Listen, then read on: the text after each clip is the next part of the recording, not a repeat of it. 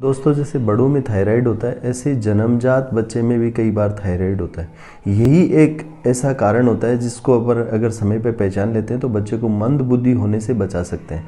तो क्या क्या लक्षण होंगे जिसे अपने को मालूम चले कि अपना बच्चा के कहीं थायराइड तो नहीं है? दुनिया के बहुत सारे देशों में तो जन्मते ही इस चीज़ की जाँच होती है कि कहीं बच्चे को थायराइड, हाइपोथायराइडिज्म तो नहीं है, उसमें थायराइड की कमी तो नहीं है। तो क्या क्या लक्षण होंगे जिससे अपने को ये मालूम चले कि बच्चे को, एक तो जिनमें थायराइड की कमी होती है, वो बच्चे बहुत ही सुस्त होते हैं उनका जो तालवा होता है, वो आगे और पीछे दो तालवे होते हैं तो पीछे वाला भी खुला रहता है। उनकी जीभ थोड़ी बड़ी सी होती है, उनकी आवाज़ बहुत भारी सी आवाज़ होती है, चेहरा है वो सुझा हुआ सा लगता है। उनके यहाँ आंवड़ होता है, वहाँ पर हड्नियाँ होता है, उन बच्चों में कब्ज़ रहती है, पेट थोड़ा फुला फुला रखता है। ये बच्चे बहुत ही सुस्त रहते हैं, हाथ पाँव मिलाओगे तो एकदम मुलाय ढीले डाले से महसूस होते हैं। तो ये सब प्लस इन बच्चों के कई बार पीलिया भी होता है प्लस ये बहुत कम रोते हैं, बहुत कम दूध पीते हैं, ठंडे रहते हैं।